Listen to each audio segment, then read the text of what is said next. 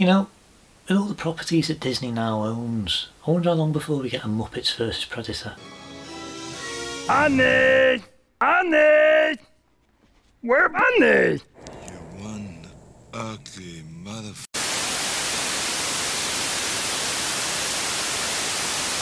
How are you doing guys? Welcome back to Rewind Reviews. Today we're going to be doing a movie from 2022 exclusive to Hulu and Disney Plus and that is Prey. The prequel to 1987's Predator. Prey tells the origin story of the Predator in the world of the Comanche Nation 300 years ago. The film follows Naru, a skilled warrior who fights to protect a tribe against one of the first highly evolved predators to land on Earth. Written by Patrick Aison and directed by Dan Trachtenberg, the movie stars Amber Midthunder, Dakota Beavers and Dane DiLiegro as the Predator. You know, I remember back when they first announced that they were going to be doing like a rebooted Predator franchise underneath the Disney banner. I remember a lot of people being a bit worried about what direction they really sort of go in and honestly it's it is in safe hands. Honestly, this is more Predator-like than most of the movies that we've had recently. I've only ever seen the original Predator movies, the first and second one, like once, and most of the stuff I really sort of remember about them were just how big and over the top they could be with Arnie and all his army buddies together. But with this one, from the marketing, from everything that we were really seeing of it,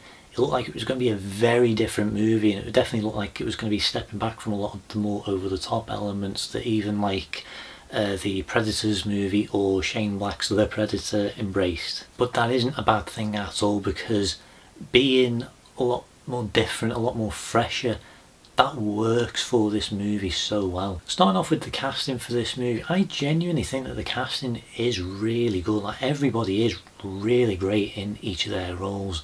The movie mostly kind of focuses more on uh, Naru and the Predator as well as Naru's brother. There are definitely a lot of other characters who do appear through this but most of the focus is on Naru who and her brother as well. We do get to spend like a little bit of time within like the Comanche Nation. It takes place in like the 1700s so it's definitely set within this sort of time period where there's no technology, it's all very isolated and kind of cut off and it's like the perfect sort of setting for this movie. And we do get a really good idea of like the culture of this time period but we don't really get to spend an awful lot of time with it because most of the focus is on the Predator storyline, which is kind of what we are here to see. And even though the casting is genuinely really good, especially like Amber Midthunder, who's absolutely amazed. I, I, the first time I ever saw her was in uh, Legion, which is on, I think it was Fox. Uh, she was really good in it. I'm really glad that she is starting to get a lot more bigger roles and I'm hoping that this does sort of lead on to her becoming like a really big star in Hollywood because she she genuinely does deserve it. She is definitely one of the best aspects of this film and because it focuses on her that's kind of the thing that does elevate it quite a bit. But there isn't really a lot of development when it comes to not only her character but the brother uh, a lot of the side characters as well. There's all these different characters who are introduced and a lot of them are very two-dimensional only really kind of serve to be like cannon fodder in a way. And I just think that there could have been just a little bit more with them. I mean, the movie is 90 minutes long. I think that personally it is the perfect length for a movie like this, but there is the opportunity for them to just expand it on just a tiny bit more. And because the movie is taking place in the 1700s, it does mean that it has gone like a, in a way like a back to basics story of survival. It feels like what the original Predator tried doing, which is is a simple story where it's quite stripped back and it's mostly focused on just these people just trying to survive against this almost unstoppable opponent. And because of where this movie takes place and where it, when it's set, it does distance it quite enough from the originals because that movie is like a full-on action movie this one does feel a little bit more like a horror. It's very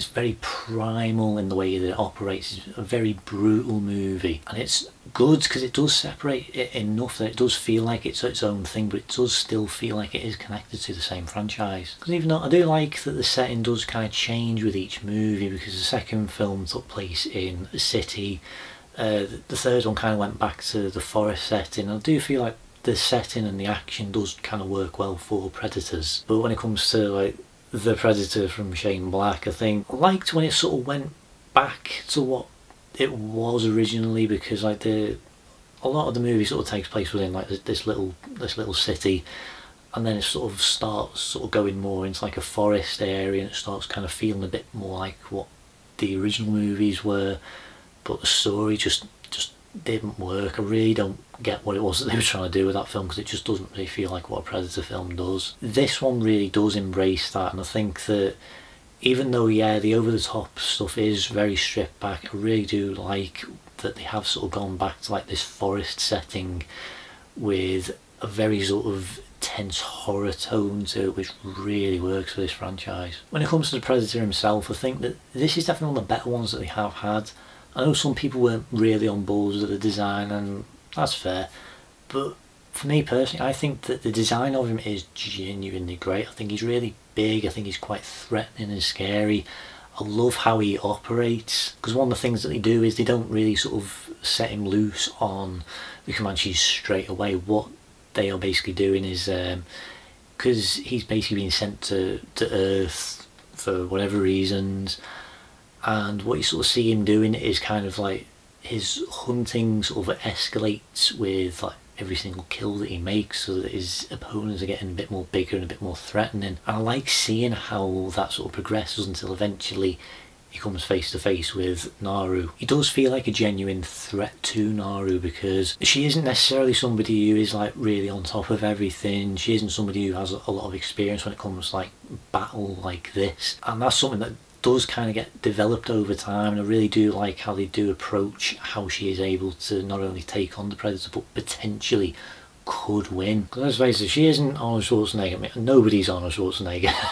so they can't necessarily have her going toe to toe with the Predator in the same way that Arnie did.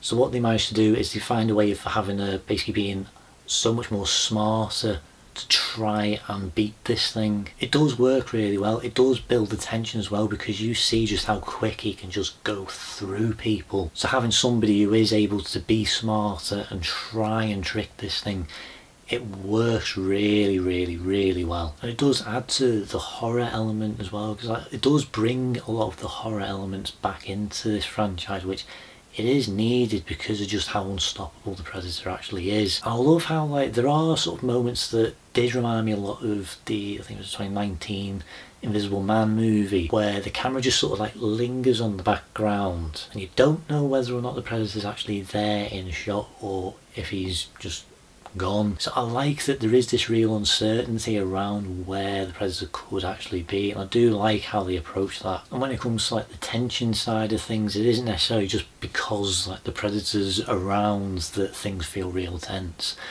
It's because Naru's basically going up against all these different animals as well, like wolves and bears, and there's so much that's just kind of out to get her, and it, it is genuinely a story of survival against all these different kinds of things, including humans. There is this real rawness to it. It's very brutal, it's very graphic and violent. One of the sequences which they've kind of shown in the trailer is probably one of the best Predator reveals I've actually seen because it's kind of the first time that you really sort of see what it is that the Predator looks like but it's not really in the direction that you'd expect it to be because it does involve the bear and I think it's so well handled it's so gruesome as well but it looks amazing. The action overall is really good it is very well handled it's shot nicely you can see everything it's well edited. I do kind of question how it is that this movie's like a 15 I don't know if it's actually like officially a 15 or if it's a 16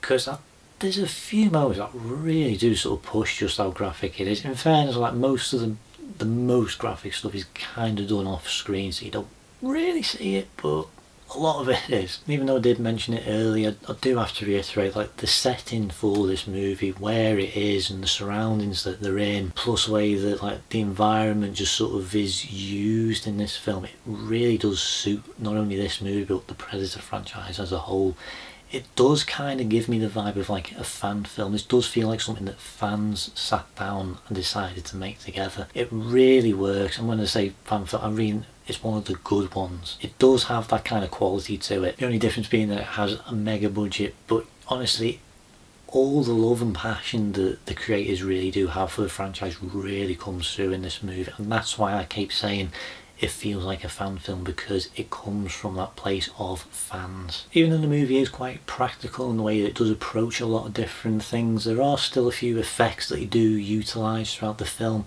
and most of it does look pretty good. There's not many elements that don't quite work. It's used sparingly, it's used very well. When it comes to like the animals, like the wolf, the bear, they look great, they look very realistic. There's only like a few moments with a few other creatures that don't quite look great but overall they're fine. I like what they do with like the Predator's like shimmer stealth effect because I think this is probably like the best looking version that we've ever got. And do definitely use the effects to kind of up the gore levels a little bit more but honestly it does work and I feel like it does fit this movie. It is the effects aren't necessarily like over the top. They don't try over stuff in the movie with as many effects as possible. This is a very much a grounded movie and they make full use of any practical effects that they possibly can. The music was created by Sarah Schachner. While it's not the most memorable theme, it does add to the tension. It is quite subtle and quiet a lot, but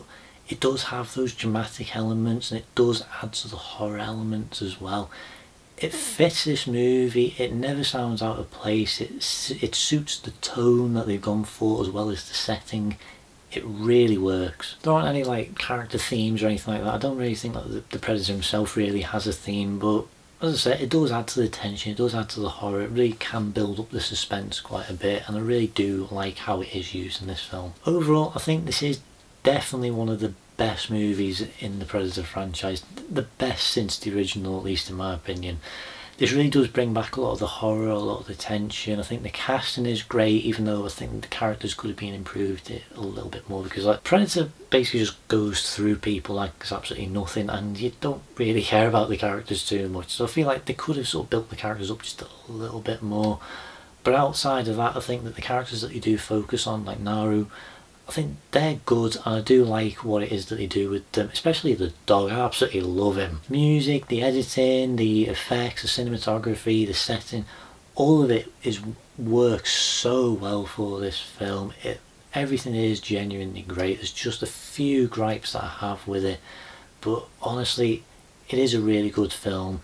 I think if you are a fan of the Predator franchise, I think this is one that you do need to see. Make sure you at least try and give it a go whenever you can. Really would highly recommend it. If you're somebody who just likes an action movie, give it a go. If you're somebody who does like something that's a bit more horrifying, give it a go. I think this is a really great movie. So honestly, if you do want a good movie to watch, see this. So with all that being said, my rating for this movie is an 8 out of 10. This kind of does what like Top Gun Maverick did when it comes to like the original movies because this one does have like those little nuggets here and there where it kind of calls back and has like a few connections to the original films but it is very much its own thing. It doesn't rely on nostalgia to get you to be like oh I, I like that. Because there are definitely a few things that do kind of connect to the original films but they're really not they're, they're only really in the background. You don't really notice. I didn't really sort of pick up on a lot of these things until somebody pointed them out but there's a couple little callbacks here and there. There is one line that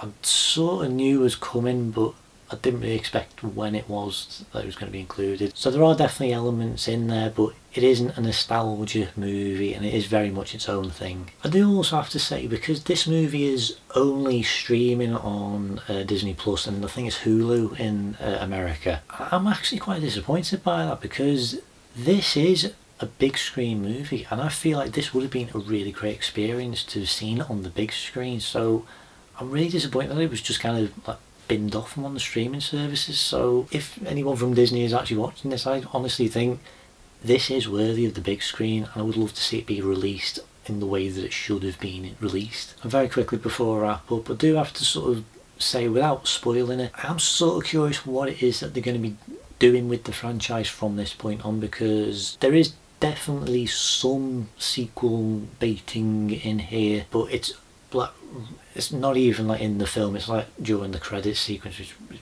kind of weird but that's really the only sort of hint that maybe there is going to be more to this franchise in the future which if it's anything like this will be really good and again I, I really hope that it gets like a big screen release but I really don't know what it is that they're going to be doing from here. I would like to see like a different setting maybe like they could change it up each movie. I think that could be a really good way of like keeping the franchise fresh. As I said if it is as good as this movie then I'm more than happy that the franchise will continue in some shape or form. Well that's pretty much everything I've got to say for today's episode so thank you so much for watching. Please like please subscribe hit the notification button to keep up to date on everything going on on this channel. I'm also very available on Facebook, on rewindreviews.youtube, where I share out little tidbits and things that I'm watching, as well as the thumbnails I use for these videos. Let me know down in the comments what you thought about the movie. Where would you rank it compared to the other Predator movies? What what setting would you like to see a future Predator movie be set in? If you have any suggestions for any rewinds you want me to do a review for, uh, like maybe film, TV shows, games,